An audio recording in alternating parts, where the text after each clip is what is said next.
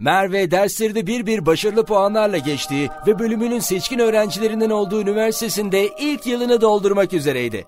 Fakat ileride hangi sektörde ve hangi pozisyonda çalışacağını belirleyemediğinden gerek yapacağı staja gerekse hangi ilgi alanına yoğunlaşacağını bir türlü karar veremiyordu. Bu durum Merve'yi üzüyor, umutsuzluğa sürüklüyordu. Merve üzülme!